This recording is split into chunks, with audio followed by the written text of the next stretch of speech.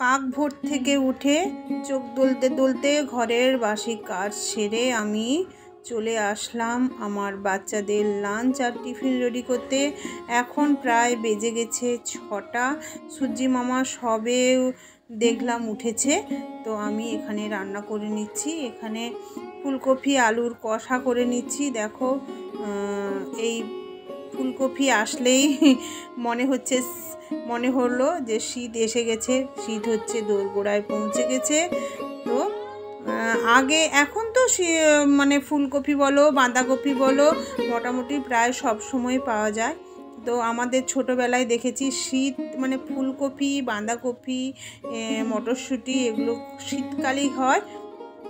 বিশেষ করে আমার বাবার বাড়িতে মাঠে এগুলো চাষ হতো। তো মাঠ থেকে তুলে এনেই খাওয়া হতো।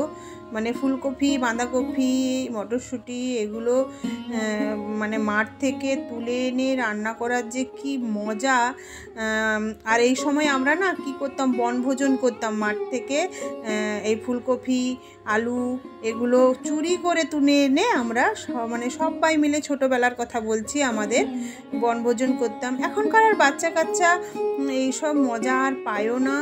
আর কি বলব, আমরাই তো সেরকম হয়ে গেছি। তো চলো, আমার ফুলকপি আলুর কষাটা হয়ে গেছে। এবারে তার সঙ্গে আমি দেব আজকে রুটি। তো আমার মেয়ে রুটি পছন্দ করে, ছেলে আবার পরেটা পছন্দ করে। যেহেতু মেয়ে লাঞ্চ ব্রেকটা অনেক মানে এখন থেকে রান্না করছি, ও খাবে দুটোর সময় ওর কলেজে লাঞ্চ ব্রেক হয়, তাই ও রুটিটাই বেশি পছন্দ করে। পরেটাটা শক্ত হয়ে যায়, খেতেও ভালো লাগে না। তো পরেটা না গরম গরমই খেতে ভালো লাগে। কিন্তু আমার ছেলে একটু বেশি পরেটা পছন্দ। কিন্তু আমি রুটিটা দিই কারণ রুটিও শরীরের পক্ষে ভালো। তো আমার মোটামুটি এখানে ছেলে মেয়ের টিফিন এবং লাঞ্চ আমার রেডি করে আমি ছেলেকে ওখানে উঠিয়ে দিয়েছি, মেয়েকেও ডেকে দিয়েছি আর দুজনের জন্য করে নিচ্ছি। না, দুজনের না, এটা আমার ছেলে খাবে, এটা হচ্ছে ছোলা আর ছাতুকে গুলে দিচ্ছি।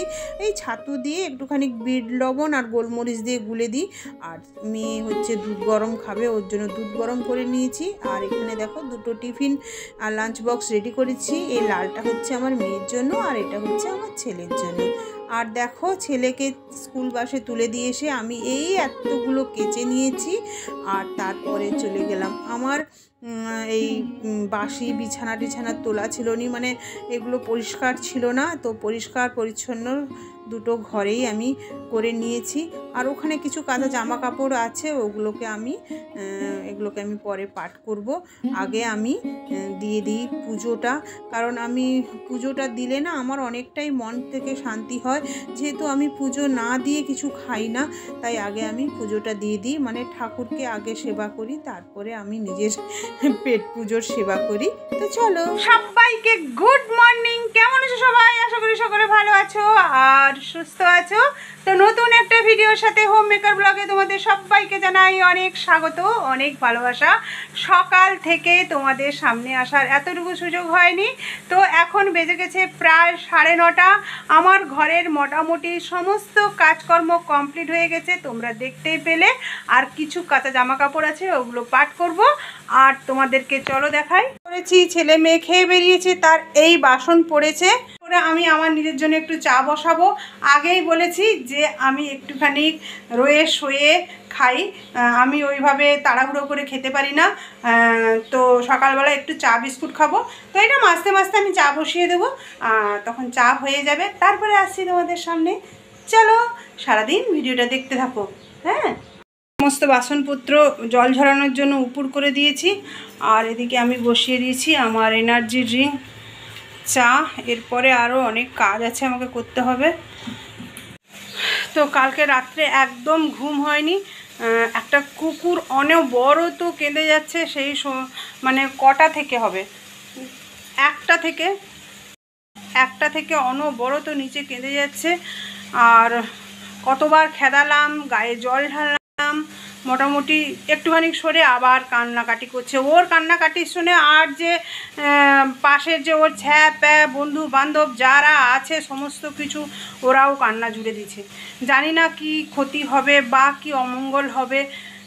কারণ আমি এগুলোকে একটু বিশ্বাস করি। সে তোমরা যে যাই বলতে পারো, আমার সঙ্গে কিছু এমন ঘটনা ঘটেছে, তাই আমি বিশ্বাস করি। তো কালকে রাত্রে তো একদম ঘুম হয়নি, তারপরে সকালে ওঠার একটা ব্যস্ততা থাকে, যেহেতু আমার ছেলে মেয়ে বেরোয়। বলেছি ঘড়িতে অ্যালার্ম দেওয়া মানে ঘড়িতে সরি ঘড়িতে নয় মানে ফোনে অ্যালার্ম দেওয়া থাকে। তো একদম ঘুম হয়নি।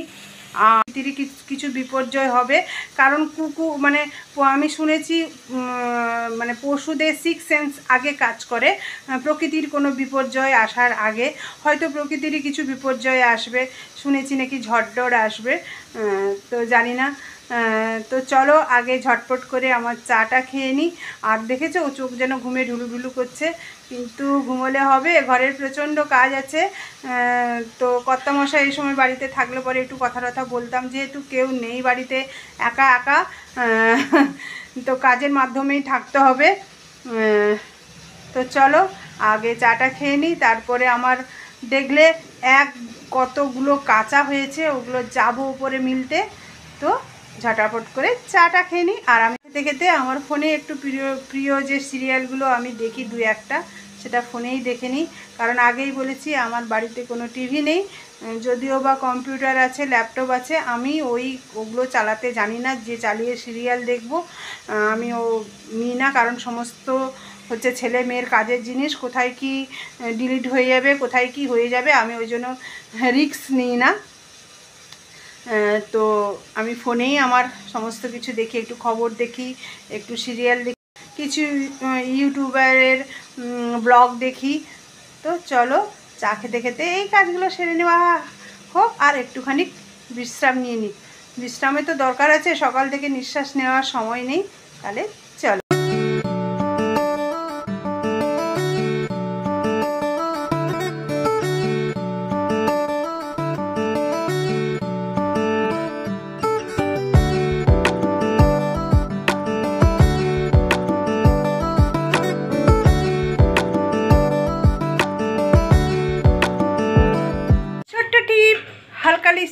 আর জামিনি তো না না, আমি জামিনি শাড়ি পরিনি, আমি পরেছি একটা শিফনের শাড়ি। দেখো দেখো, আমি একটু সাজুগুজু করে বেরিয়ে পড়েছি। এখন বাজে একটা। আমি এখনও পর্যন্ত জলখাবারই খেয়েছিলাম, রুটি আর ওই ফুলকপি আলুর যে সবজি, আমি মেয়েকে, ছেলে মেয়েকে যে টিফিনে দিয়েছিলাম মানে লাঞ্চে দিয়েছিলাম, সেটাই আমি খেয়েছি। এখনও ভাত খাইনি। আমাকে চটপট করে বেরোতে হচ্ছে। আমাকে যেতে হবে একটা জায়গায়। তো তোমরা সঙ্গে থাকো আর ভিডিওতে থাকো।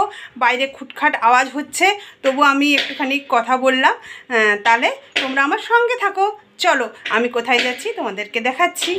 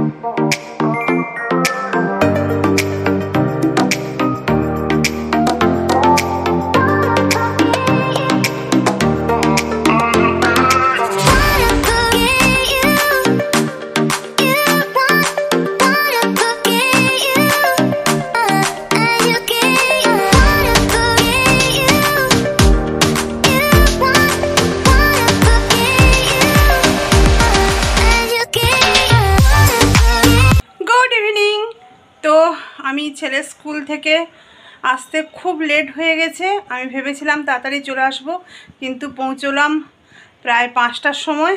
এসে আগে ঘরের যে সমস্ত সন্ধ্যের কাজকর্ম ছিল সেগুলো আগে গোছালাম, স্নান করলাম, আর দেখো, এই যে সন্ধ্যের বাতি জ্বালালাম, আর এখানে উপর থেকে সমস্ত কাপড় তুলে নিয়ে এসে জড়ো করে রাখলাম, আর ওইদিকে গোছানো কাপড়, পাট করা কাপড় এখনও তুলতে পারিনি। এত খিদে পেয়ে গেছে, সেই কখন খেয়েছি?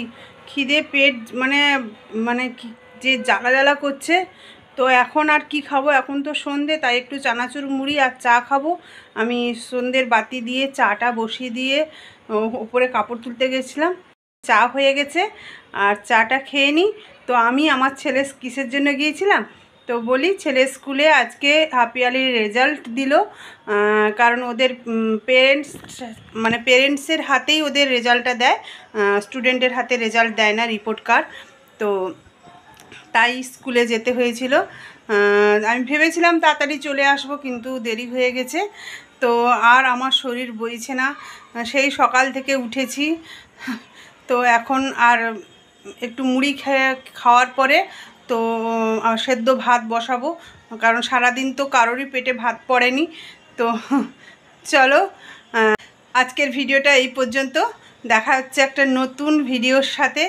তো, আমার ভিডিও যদি ভালো লেগে থাকে, অবশ্যই চ্যানেলটিকে সাবস্ক্রাইব করো আর পাশে থাকা বেল আইকনটি অন করে দিও, যাতে আমার ভিডিও নোটিফিকেশান আসার সঙ্গে সঙ্গে তোমরা ভিডিওটা দেখতে পাও। আর কি? তো, আজকের মতো, টাটা। গুড নাইট সবাই ভালো থেকো সুস্থ থেকো আর আনন্দে থেকো।